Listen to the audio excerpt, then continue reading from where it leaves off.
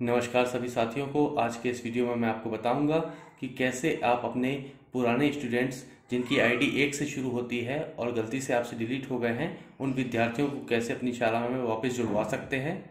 इससे पहले एक रिक्वेस्ट है कि इस चैनल को आप सब्सक्राइब कर लीजिए, साथ ही साथ लाइक कमेंट करके हमको बताएँ कि ये वीडियो आपको कैसा लगा। तो इसके लिए सबसे पहले आपको संकुल समन्वयक की आईडी में लॉगिन करना पड़ेगा। आपको अपने संकुल समन्वयक से संपर्क करना पड़ेगा। जो भी विद्यार्थी जो गलती से आपसे डिलीट हो गए हैं या फिर ऐसे विद्यार्थी जो आपके शाला में नहीं दिख रहे हैं तो हो सकता है वो डिलीटेड पुल में कहीं पड़े हों। उनको आपको पिक करना है तो इसके लिए संकुल समन्वयक से संपर्क करना पड़ेगा शालाओं को।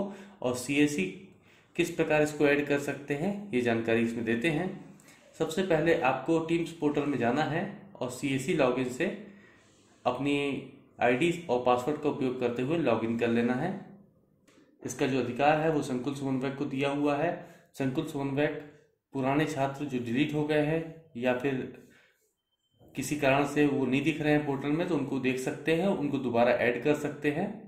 तो सबसे पहले संकुल समन्वयक को सी जी टीम्स के पोर्टल में जाना है, अपने लॉगिन आईडी पासवर्ड का उपयोग करके एंटर कर देना है इस वेब पोर्टल में। उसके बाद आखिरी में ऑप्शन दिया हुआ है विद्यार्थी का।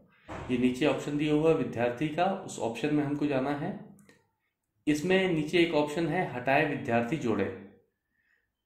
तो हटाए हुए विद्यार्थी को जोड़ने का ये ऑप्शन है।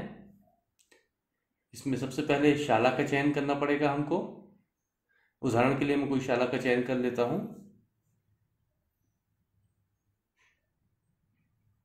उसके बाद कक्षा का चयन करना पड़ेगा। किस कक्षा के लिए विद्यार्थी आपको जोड़ना है, उसको चयन कर लीजिए। उसके बाद सेक्शन का चयन कर लीजिए। और उसके बाद खोजे बटन को दबाना है। जैसे ही आप इस बटन को दबाएँगे तो थोड़ी देर में नीचे आपको विद्यार्थियों का लिस्ट दिखना शुरू हो जाएगा। इस प्रकार अब सपोज़ इसमें से कोई विद्यार्थी आपको ऐड करना है तो सबसे पहले उसे एक्टिवेट करें, पर टिक करना होगा आपको।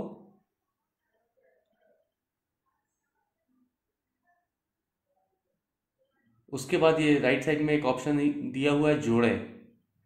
उस पर टिक करना होगा, इन दोनों पर टिक करना होगा तो उसको भी अपन जोड़ के देख लेते हैं दूसरे बच्चे को। इसमें भी एक्टिव करे पर टिक करेंगे, और उसके बाद जोड़े पर टिक कर देंगे, और नीचे जो बटन दिया हुआ है, सुरक्षित करें। जैसे ही आप इसको सुरक्षित करेंगे तो ये जो बच्चा है, उस शाला में ये बच्चा जुड़ जाएगा। आशा करता हूँ दोस्तों ये वीडियो आपको पसंद आया होगा और काम का लगा होगा। यदि वीडियो पसंद आया है, काम का लगा है तो लाइक कमेंट शेयर सब्सक्राइब करना ना भूलें। धन्यवाद।